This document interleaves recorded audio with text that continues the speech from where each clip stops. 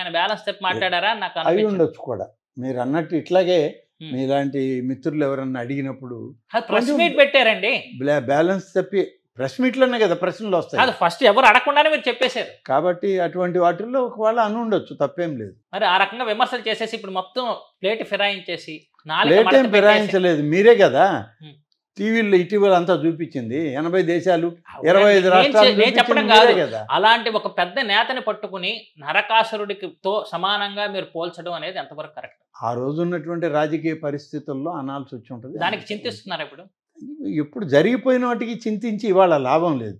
భవిష్యత్తుకి ఆలోచన చేయడమే నా వంతు ఎందుకంటున్నానంటే. మీరు అన్న కొన్ని మాటలే ఇప్పుడు వైఎస్ఆర్ కాంగ్రెస్ పార్టీలో మీకు ఇబ్బంది కలిగించే పరిస్థితి వచ్చిందని చెప్పి కూడా ఒక ఉంది. వైఎస్ఆర్ కాంగ్రెస్ పార్టీలో నాకు ఇబ్బంది కలిగించేది? జగన్ గారిని మీరు ఒక ఆర్థిక నేరగాడు ఇతను ఇదే గనక విదేశాల్లో ఉంటే ఆయన్ని ఉరి తీసేవారని మీరు ఒక మాట అన్నారు. అన్నారా లేదా?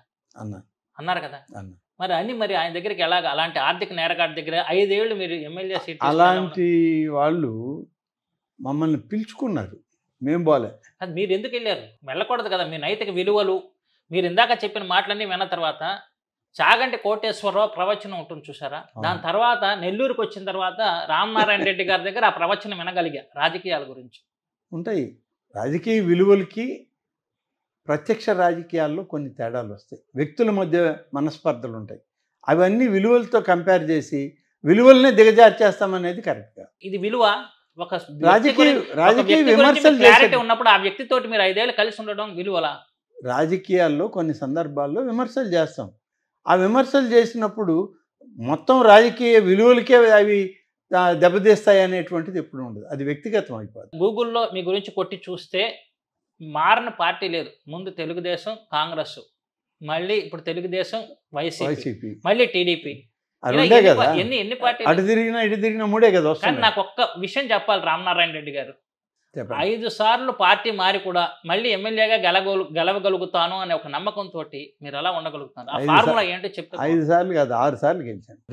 రేపు- కూడా అవతాననే నమ్మకం నాకు ఉంది ఆ ఫార్ములా ఏంటో చెప్తే అందరు పార్టీలు మారి ఎలాగ టిక్కెట్లు సాధించవచ్చు అని తెలుసుకుంటారు కదా. టిక్కెట్లు సాధించే దాంట్లో ఎన్నికల్లో పోటీ చేసే దాంట్లో కాదు ఇవన్నీ. ఇవన్నీ ప్రత్యక్ష రాజకీయాల సందర్భాల్లో ప్రజలతో ఎవరైతే మమేకం అవుతామో ప్రజా సమస్యల కోసం ఎవరైతే పోరాడతామో ప్రజలతో ఎవరైతే నిత్యం కలిసి వాళ్ళ సమస్యల కోసం తిరుగుతూ ఉంటామో వాళ్ళని ప్రజలు పార్టీలకు అతీతంగానే ప్రేమిస్తారు. ఆ విధంగానే నన్ను కూడా పార్టీలకు అతీతంగానే అభిమానించారు ప్రేమించారు.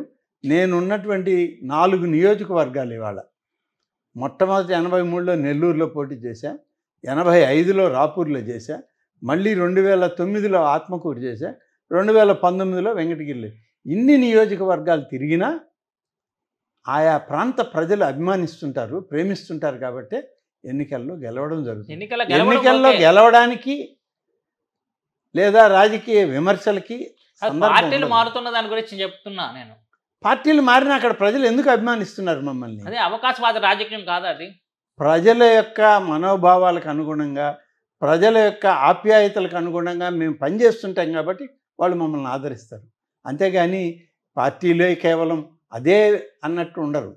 పార్టీ. అనేది కొంతవరకు పనిచేస్తుంది. ఎలా యొక్క పార్టీల యొక్క మేనిఫెస్టో కొంతవరకు పనిచేస్తుంది. మా వ్యక్తిగతము కొంత పనిచేస్తుంది. ఇవన్నీ కలిపితేనే మేము ఎన్నికల్లో ఏంటంటే. ఐదేళ్ళ క్రితం విలన్గా ఉన్న వ్యక్తి ఈ రోజు ఎలా హీరో అయిపోతున్నారు? ఈ రోజు హీరోగా ఉన్న వ్యక్తి ఐదేళ్ళ తర్వాత విలన్ ఎలా అయిపోతున్నారు? కెమెరాలు అయిపోయిన తర్వాత రామచంద్ర గెలిస్తే ఆ వివరం చెప్తా నువ్వు కూడా రేపు ఎప్పుడైనా ట్రై చేయొచ్చు రాజకీయంగా. రాజకీయాల్లో ఇప్పుడు మీరు చెప్తున్న ప్రకారం విలువలు ఉండాలని చెప్పి చెప్తున్నారు కానీ విలువల విషయంలో మీరు ఎంతవరకు విలువలను పాటించారు? నాకు విలువలు ఉన్నాయి కాబట్టే ఇంకా ప్రజా ఆదరణలోనే బతుకుతున్నాను నేను. కేవలం విలువలు అంటే పార్టీలు మారడమును దాంతోనే విలువలు పోవు. లేకుంటే నాయకత్వం నాయకుడిని మార్చుకుంటే విలువలు కాదు. మనం మన విలువలను కాపాడడం అంటే ప్రజల యొక్క భద్రత కోసం వాళ్ళ యొక్క రక్షణ కోసం వాళ్ళ యొక్క అవసరాల కోసం జీవితాలని ఎవరైతే రాజకీయాల్లో కొనసాగించుకుంటూ ఉంటామో ఆ విలువల వల్లే ఆ ప్రజలు కూడా మమ్మల్ని ఆదరిస్తాం అనేది లేదా మీకు నేను మూడు సార్లు ఓడిపోయాను. చెప్తున్నా కదా తొమ్మిది మ్మ్. సార్లు కంటెస్ట్ చేసిన. ఆరు సార్లు గెలిచినాను మూడు సార్లు ఓడిపోయాను డిపాజిట్ కూడా పోయింది కదా అది రాష్ట్ర విభజన డిపాజిట్ పోయింది అనేది.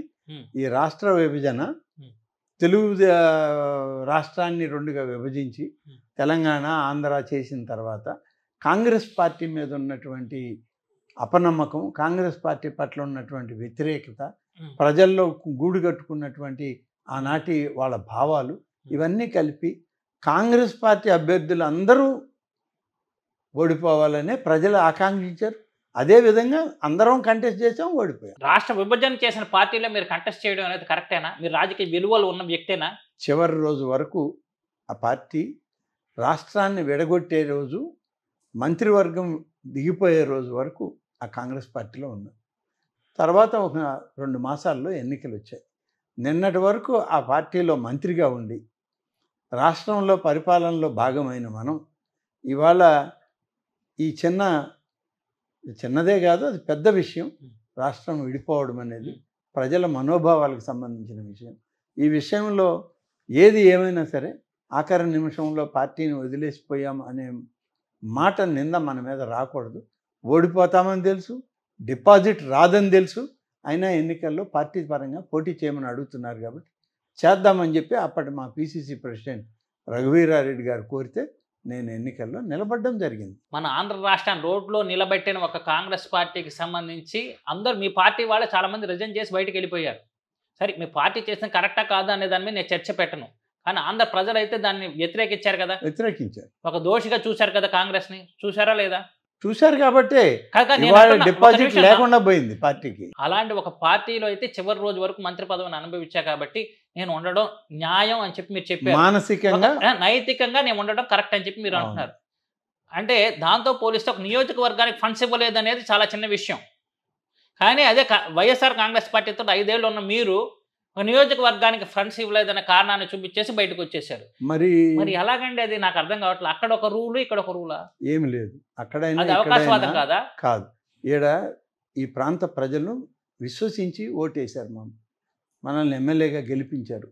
అది ఆ పార్టీ సింబల్ మీదనే గెలిపించిన ఆ పార్టీ కొన్ని హామీలు ఇచ్చింది వాళ్ళకి. ఆ హామీలు నెరవేరినప్పుడు ఆ ప్రాంత ప్రజలు వాళ్ళు చాలా ఇబ్బంది పడుతున్నారు ఇవాళకి ఇబ్బంది పడుతున్నారు. వాళ్ళు అనుకున్నవి సాధించలేకపోయారు.